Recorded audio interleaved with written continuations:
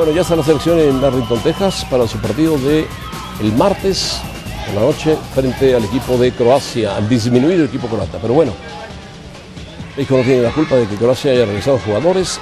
Los equipos se forman así, se hacen así. Este fue el 11 ante Islandia. Corona, Salcedo, Araujo, Moreno. Después jugaron Reyes un poquito más atrás con Guardado, Gallardo, Layún, Fabián. Ya, se hizo un revoltijo. Así no fue. Así no fue. Así no fue. Pero así de bueno, pronto se vio en el terreno de juego. Estos son los eran esos arrancaron. 11. A veces así se veía. A ver, pero señor, sí. señor productor, échame la cámara para acá, por favor, a ver si se ve esto. Estos son los que El iniciaron. rombito, el rombito de Pelay. A ver si Iniciaron se ve. y los que salieron de cambio. Y no, no se va a ver. ¿verdad? Ya No con esas no, rayas no que no pusiste ahí. Ricardo. Pero lo puede explicar muy bien. A ver, México terminó así el partido. También lo terminó Ah, sí, Corona, Salcedo, Araujo, Reyes, Molina, Las Reyes lo puso por derecha. Araujo como Vela. por O izquierda. sea, casi acabaron así Peralta como portero, Lozano y Pizarro de Peralta. centrales. Total, Miren, con tantos cambios. miren, miren, Ahí así, está. así empezó México. Pero enseñales el rombo. ¿Dónde está el rombo? entiendo. ¿Está el Ahí rombo? está, ahí está, Layún, Diego, Layún, Guardado. Guardado, Fabián. Aquí hay un rombo en medio. No se Gallardo mueve. y Tecatito. Ese no se mueve. Ahorita le preguntaba yo a Mario, porque es muy interesante, ¿no? Una pelota cruzada, que él utiliza marcadores de punta. O sale el central, o se recorre el ayun, porque el Tecatito ya no llega. Es, es- es complicado este esquema, Mario. O el medio centro, que era Reyes, ¿no? Si está la otra toma, esta es la otra parte de la alineación. bueno, no, Pero no, sale el central, aquí no sale se- el central. Aquí está muy bien explicado, pero no se nota. No, Mario tiene un libro. Sí, está bien. Mario me regaló un libro. Parecen piezas de este, ajedrez. Ese es. Por ejemplo, así es. Posible, imposible Así verlo. tendría No, no. que haber empezado. Después se movieron todos, José Ramón. Parecen naves de Star ni para Wars. dónde. Pero no, ese- la cobertura es que Araujo la haga de central lateral por la derecha y Diego Reyes Ahora. forme la línea de cuatro centrales, como le gusta al Totes. Totes. Grandotes. Mario, bueno, Croacia no, Mandzukic, que era su más alto, ya no está. No tiene jugadores muy altos Croacia en ese momento. Son más bien tipo Modric, tipo Kovacic, tipo Rakitic, bajitos, bueno, no bajitos, de unos Medianos. 75. Mediano, medianos. mediana. ¿Qué alineación? ¿Repetirías la alineación tú?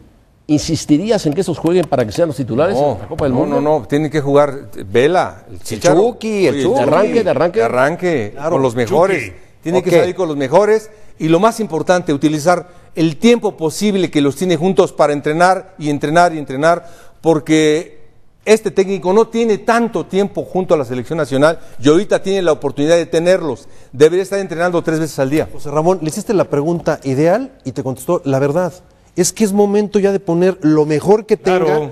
Ahora, si va a estar jugando con base en el rival, pues va a estar cambiando contra Alemania 1. Está bien, está bien. No, es del- es del Croacia técnico. cambiaría todo Es el que equipo. así lo hace. Pero tiene razón No, Mario. debe hace. jugar con los casi titulares. Mira, yo en el, en de, el de ataque. 11, por lo menos 9, ¿no? Para mí, no sé si estés de acuerdo conmigo, Mario, y eh, ustedes también. Para mí el ataque debe de ser, ya en este momento, Vela, del otro lado Chucky y el centro delantero Jiménez.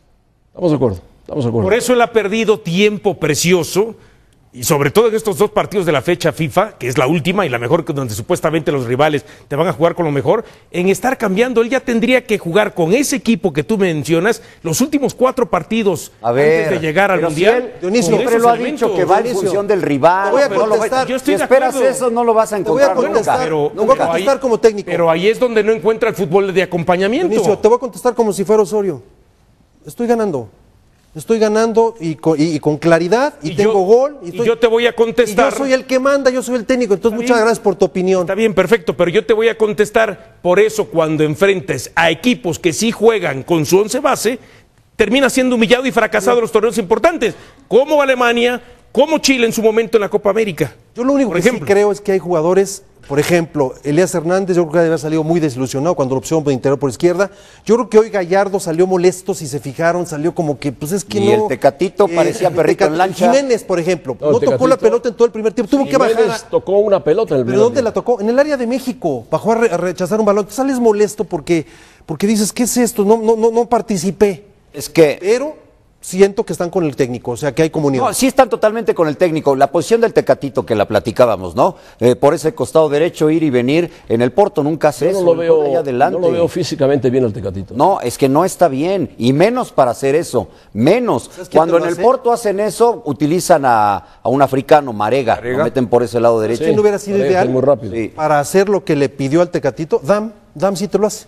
Dan va y viene toda la banda. Dame Sí, pero, te tira 3.000 Dam y centros Aquino malos. Dame, Aquino, lo- eso es lo mejor que tiene Tigres, que los dos son... Es que tira 10 centros malos. ese es otro tema. Eso es el problema. Hay, hay que ver qué jugadores son los que repiten el próximo martes, porque sin duda esos que repitan, que puede Ahora, ser 3, 4, 5, 6, yo estoy son los que ¿eh? arrancarán co- contra Yo Alemania el creo que Croacia puede salir respondón porque los jóvenes querrán ganarse un puesto también, y van a decir, vamos a aprovechar la oportunidad, vamos a jugar. La única derrota que tiene eh, Osorio en partidos amistosos fue justamente el año pasado contra Croacia. Yo la, la gran incongruencia para mí, la así grande, grande, grande es, me llevé a Gobea, a Molina, a Jonathan González y al Burrito y puse a, Y ninguno inició. y puse a Diego. Ninguno inició. Le faltó Estamos Héctor todos locos. Herrera y puso a Diego Reyes. Estamos todos locos, pero bueno, es el técnico, el equipo está ganando y ojalá le vaya muy bien en el Mundial. Yo creo Bueno, que le va a ir muy bien. tanto que habían hablado ustedes, ¿resultado o funcionamiento? No.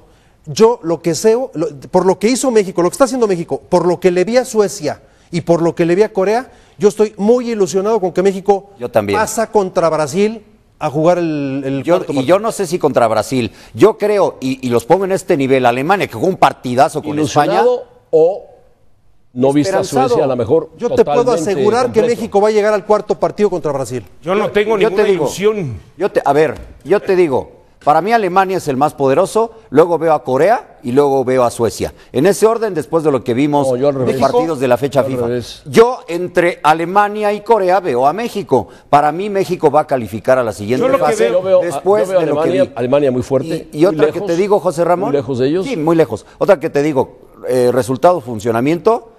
Ya basta de funcionamiento sin resultados. Resultados. Resultados, bueno. Resultados. Yo lo que Yo sí. veo, perdón, perdón. ¿Cómo veo ves? Alemania, veo Suecia y México, México Parejo, y Suecia, muy parejo. muy parejos, un poquito arriba México y abajo Corea. O sea, ¿crees que México sí puede llegar al cuarto partido contra Brasil? Yo creo que México puede llegar al cuarto partido contra Brasil, pero hasta ahí basta. basta ¿Coincidimos, ¿eh? Mario? Basta. Híjole, yo la verdad que... Basta. Yo lo que A digo. Brasil no le ganas ni yendo a, Si se le, a se le empató en Brasil, Yo- José Ramón, se le empató fin- en su mundial No, a no, Brasil. pero- Yo lo Brasil que realmente otro, otro veo Brasil, es Brasil. que ahora, si no se mejora en el funcionamiento, entonces no esperemos que los resultados se den como se dieron en la eliminatoria y como se han dado en los partidos amistosos. Estás muy La- pesimista. No, no estoy Ah, pues pesimista. dice que está en el hoyo, cuidado, México. Cuidado No cuando pesimista. Alemania, ¿Eh? Alemania enfrentó a un gran equipo de fútbol, cuando Alemania acelera, cuando Alemania junta Claro. a sus hombres, Estoy de acuerdo. cuando va al ataque, cuando desbordan por las bandas, cuando centran. José oh, Ramón, cuidado. Alemania-España fue un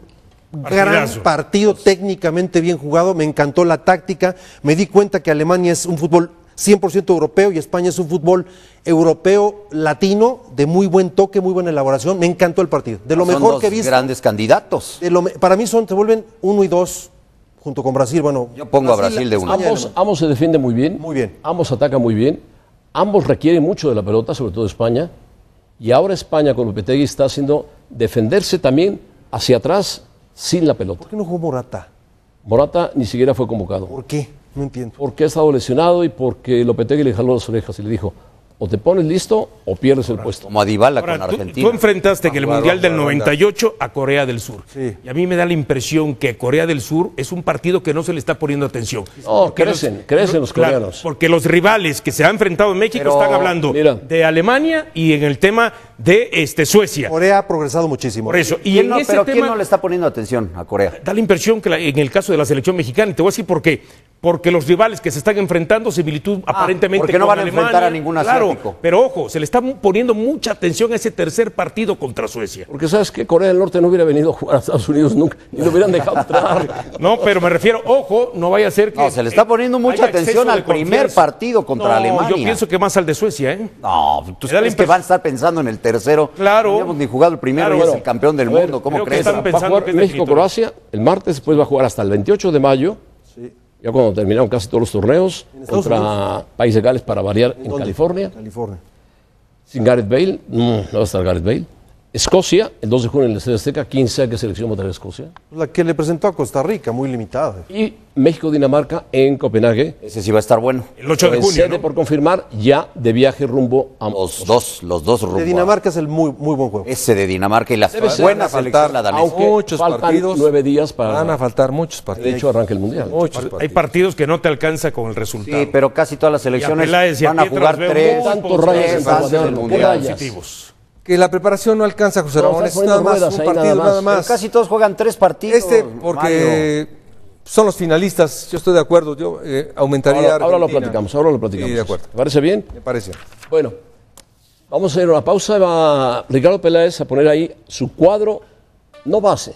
Los 23 que van a viajar, van a viajar ya, con maleta, todo listo, hacia Rusia. Uh, ahora sí va a sentir lo que Qué bueno que no la hace Dionisio, si no, no va nadie. Eh, No, si hace Dionisio, no va nadie. ahora sí Peláez va a sentir lo que siente Osorio. Directivo.